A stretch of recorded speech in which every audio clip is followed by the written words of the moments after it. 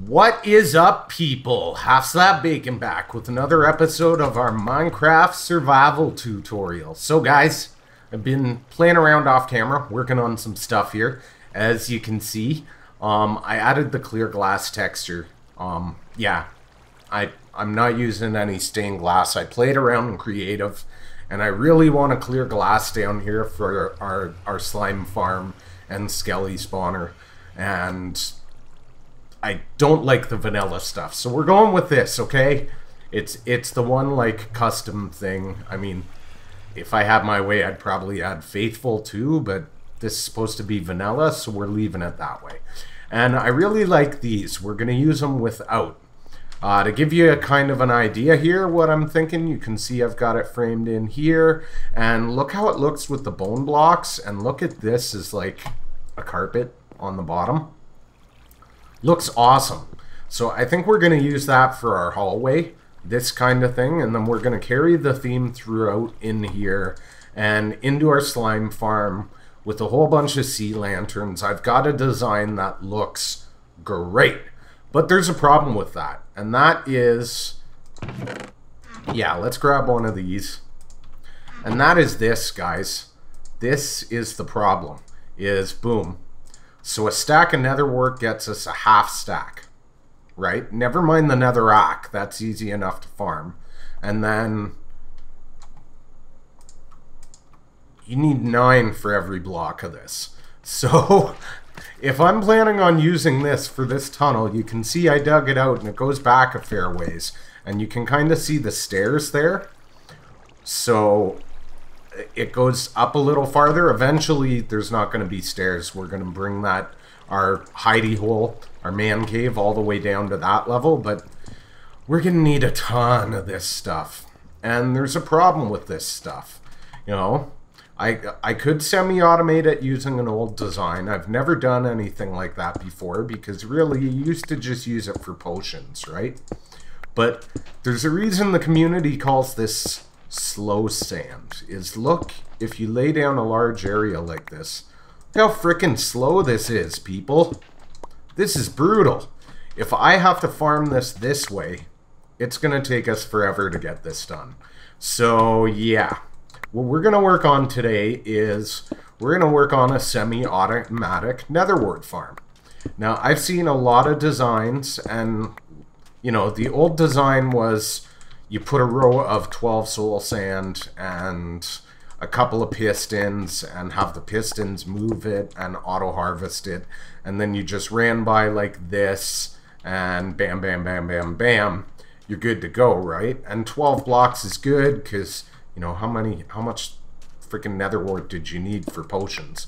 Even on a large server one or two of those was good right?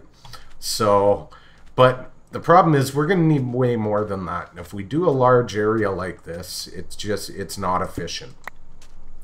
So we have to come up with a way where, whoops, we can auto harvest this and then run along and fill a large area of it without ever walking on the soul sand is basically the thing. So I have some ideas in mind. I've been working some stuff out in my head and we're going to get on that and we're actually going to bring this, I think, to get us started. Maybe two stacks. We'll leave the rest here. So we have some here to work on. Yeah. And I will see you where we're going to build this. Alright, people. So, as I have mentioned before, I wanted to set up all our large farms here. And I think I said something to you guys about wanting to put like a large melon farm and everything in eventually over here too. And we are going to do that.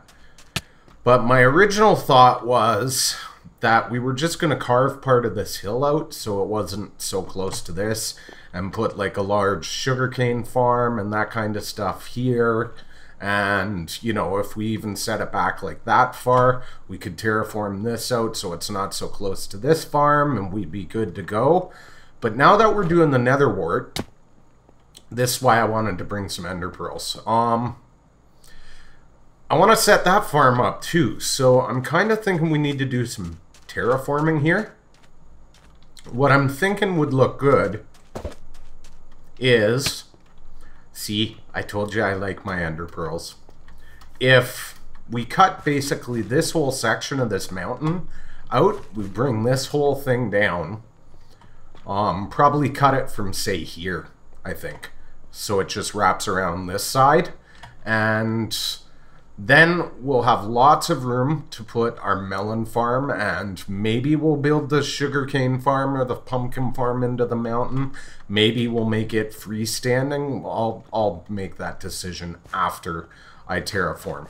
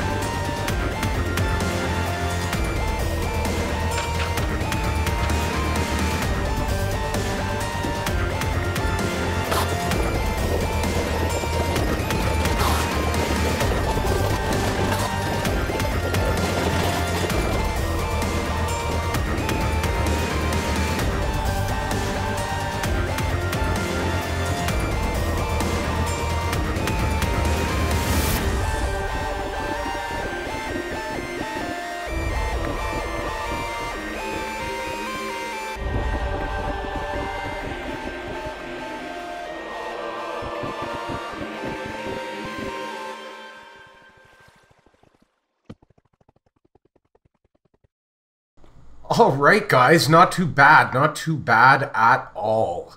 So, we've taken out enough of the mountain. I think we got lots of room to put our nether wart farm over here. And pretty much what I'm going to do, I figured I'd leave it a step up here just because it seems to suit like having these off in the backdrop here a little. That might change over time, but for now I'm good with it. And uh, yeah, if you notice all the chests, we're not uh, we're not wanting for any any literally any clay for a long long time. So I'm not I'm just kind of filling in the area I figure we'll put our nether wart farm. Like, I'm not worried about... I left all this ugly stuff here, and here we've got a bunch of holes that, you know, I'm actually going to leave, because what I'm going to do is I'm going to tear through this, and, like, over time we'll clean this up, and, you know, the mountain is not getting left the way it is. I just wanted to kind of knock it back to get like a rough shape because if you look at um, the vanilla mountains they don't take as much of a pitch right they've got lots of two layer high they're not one back all the way they've got lots of this going on so they don't take quite that pitch but the important thing was to get a pitch so I could see like how far I wanted to bring it out here to get a walkway around right and this looks good to me. I might knock some more of this back here over time, but for the most part, we're in pretty good shape here, I think. So, uh, what do we need? What do we need? Let's maybe take some cocoa beans. Yeah, I've had this thing smelting netherrack the whole time, by the way, just because, you know, we're going to need it and stuff. So, yeah, I hope you enjoyed the montage. Uh, what I think we'll do for now, like I said, I'm going to leave all the like yellow stained and that kind of crap, is um, I think I'm going to go with, and I just want to light up kind of the immediate area here. I got lots of sticks from breaking the, the things I didn't shear, so we should be okay. Um, I'm going to lay out a brown stained clay foundation, I think and like we're gonna put the smooth stone and that kind of stuff on top of that so know fortunately I don't have to die too much because we've already got enough to get started here so that works out. And where did I put the did I not? There it is. I'm gonna surround it in netherrack just for fun. Uh, if you're curious about how many picks that took it was I went once to repair, but I had five with me. And I think I left two back in the base. And I'm down to my last one here. So that's three. So seven picks. Yeah. Alright. I'll be back. Alright guys, so I figured I'd give you a look, see, whoops, that's not what I intended to do at all. I'm running out of chicken too. Um, I got lots in there. So this is what each floor is going to look like. We're actually going 8 by 7 because I'm basically going like flat up for looks here. So I can't have the magma cubes touch the water, right? So I can't run them right down or else um, they like sizzle the water and I'm not sure if they'll actually break a source block if it's beside it. Actually, Let's find out. We haven't run any redstone yet. Let's uh let's just go like so. And no. Hmm. It's not even sizzling on the side. That changes things. I might try running the, the magma cube right down to the bottom then, and just have the uh, red netherrack like that. I really wish it had stairs. This, whoops, didn't mean to do that either. Because of the beacon. Um, this layer of clay is purely for aesthetics because if you notice what I've done here with the dispensers, we're going 8 by 7, so 7 this way instead of 8 because the water only travels 8 blocks, right? And it's going to count that as a block when it dispenses it.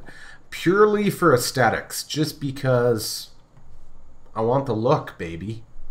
I want the look. Is that alright? Is that okay? Is everybody good with that? It's good? It's good? So we might try putting the magma all the way down. I hadn't thought that, but um, so basically three wide walkway all the way around. This so you don't fall in the water. We're gonna I put a whole layer of clay underneath this brown clay just because this is late game, so I'm gonna, you know, even the foundations getting pimped out. Plus, when I do my water stream and my my hoppers and stuff, it'll simplify. I won't have to add it after the fact, right?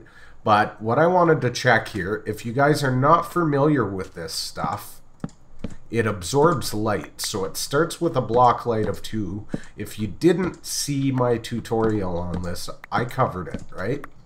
So it starts with a block light of 2, but if we do this, and I think it might take the light absorbed to the sky as well, but we can do this and kind of maximize the light coming off it, right? Actually, I believe a, a glowstone next to it would maximize the light. But then I can check my block light this way, right? Oh yeah, Netherrack gets zero block, right? But I can still check like my block light in here and all that jazz, right? So I'm going to maximize the light on these things in each one. And then we're actually going to plant the netherrack and what I want is um, water streams down here. We're going to have, you've seen me do the water stream with the ice. It's nothing new. That's what we're going to have on the bottom here. It'll go underneath into a hopper, feed into a chest. We'll pull from a chest. And then the reason we have the glass panes on each side is because we don't want to walk on this slow, right? So if you're up against a glass pane, see we can actually reach? See how far we can reach? So I can actually get that fourth block. At least I could in my testing. Yeah, now I can't do it on camera. See? Um, yeah. But then we can just do this from either side, right? So it speeds up our planting. I can do that side, and then I can come over here. One, two, three, four. I mean, it'll take practice over time, right? But, you know, as I do it, I'll get better at it, and then I'm not walking on the slow sand when I replant for the harvest. So I can just kind of, you know, I guess that technically I could cheat and I could hop up on the fence and sneak if I wanted to. I'm doing it here because we got that cobble, but really the whole point is speed here, right?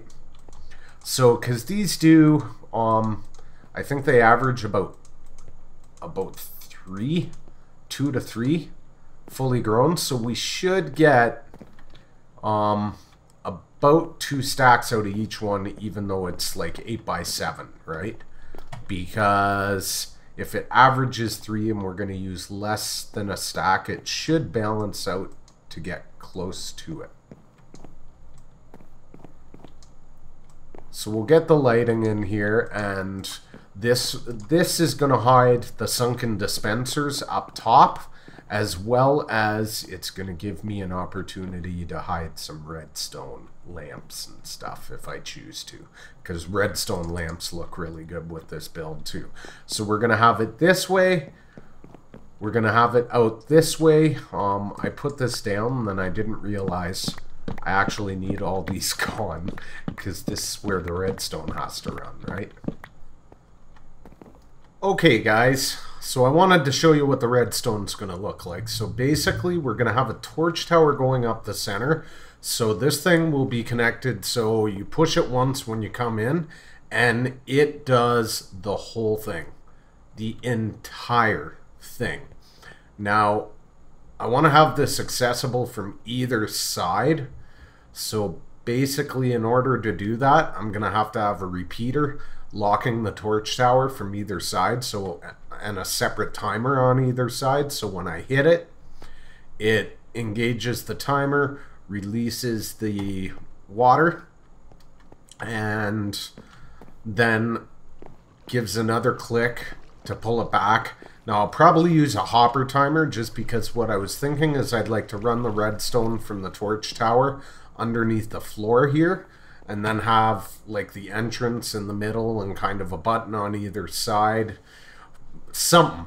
Pressure pit plate button. I'm not sure yet. But I'd like to keep it simple like that. So I could come in and just bam and you'd hear all all the dispensers go off. Now for collection, obviously the next floor is just going to drop into this one. And then we've got our ice with a water stream, which will push it into the half slabs here. Or into the half slabs, into the hoppers here. And then we're going to have this all covered up, like so. Bam.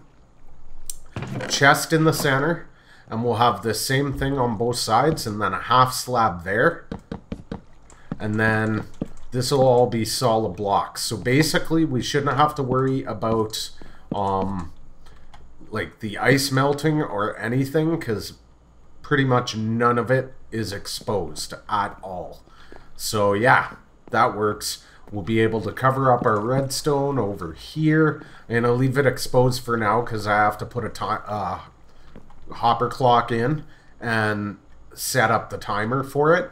And then the next side's going to be a mirror.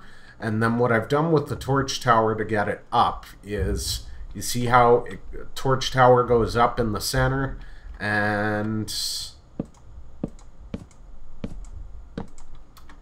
let's just go up here. Oh, and if you're wondering how to walk on this stuff, you uh, you just sneak on it. Okay? When you jump, you'll take a bit of damage, but as long as you're holding sneak, it's just that one shot. So then this is at the level the dispensers will be, and this is where our redstone wire would be, right? So if I just ran the torch up and then used this block, it would be off. So we're going to put a torch on either side to power it on, because you see what I'm doing with the array of torches on either side? Uh, it's just cheaper than repeaters, right? It's a little more laggy, but same amount of space and yeah, simpler. So torch tower, redstone, redstone torches. I'm not really worried about lag because this is not something that we're going to have go off all the time. And then this is the part where I really, really, really wish they had like different colored, uh, what do you call them? You know, the things, the trapdoors. so we could match it, but we're going to have one piece of wood here that doesn't match our floor, which sucks. So yeah, um, I'm going to finish off the other side, like mirror the other side to this, and do the second floor. And then before I close off the bottom, I'll come back and we'll do our test for the hopper timer. I'll be RBs. Alright guys, so I've been working on the glass. Here's uh, kind of the big reveal. We still got to finish off the top with the nether brick. I'm going to run the, the ring just like I did down here at the top. And uh, we got to finish this bottom layer of clay is going to get nether brick around it as well. And I still got to figure out what I'm doing as far as the hopper timer goes. But uh, yeah, one thing I wanted to show you guys is, like I said, these absorbed light, right? So I want them all at maximum light. So how am I going to do that? Well, glowstone has the highest light level in the game, right? So if I do this, and it's nice that I can do it you know, next to both of them at the same time and kill two birds with one stone. I just wanted to show you this before uh, I go about checking my light levels and trying to determine where I want to stick a redstone lamp. I might have to put glowstone. I guess I could put more magma, but I don't know. It looks a little odd, I've found in my testing and ceilings and stuff. It makes like a good looking wall. It's interesting in a skeleton trap or that kind of thing, but that's about it. Whoop. I'm falling all over the place here. So, yeah, that makes a big difference. I can tell you that much. That'll make a huge difference on what I have to do as far as lighting. So, yeah, I'm going to get on uh, that. And actually, you know what? While I have you guys here, let's do a test. Yes, I put all the water in. Um... Okay, we have an issue here. I'm not understanding why I'm getting that. Half of them didn't fire, so I've got something wrong with my redstone. Wow! I am an idiot, guys.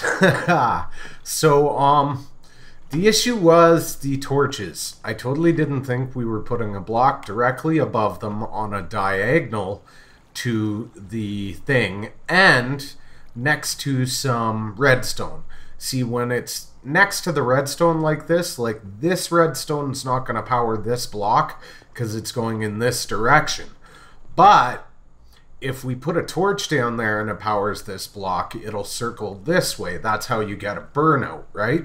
And on top of that, this will bud power those dispensers because it's on a diagonal. So I was powering this block, causing a burnout, and at the same time causing a bud power, which was locking all the repeaters, or all the dispensers. So what that really sucks. So yeah, um, I spent the cash to make them all repeaters. That's all I changed. That was it. That one thing. I still got to put a clock in. But now you can see, ba-bam. Now, I am going to have to time it. It does take a while, so I think I'm going to start with an extra long timer and dial it back. So I've got to replant. This was the yield, which is pretty good. Now, I will say it's a little lossy because of these. Um, some ends up on the sides naturally. Now, there are ways to stop that, right? Like, I could replace all of these with these bad boys and have them run right up against the edge here if I wanted.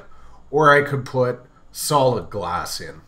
I'm probably going to leave it as is. I'm not too concerned about it. Oh, I did find the easiest way to do this is just to... Eh, for that row. See, because you can still... You can still run because you're technically still on the wood, right? But that's the easiest way. I'm going to practice doing it from outside so I get it right. Yeah. Um, so I guess I'm going to get done decorating it and put a clock in and all the glass and the fun stuff and I'll be RBs.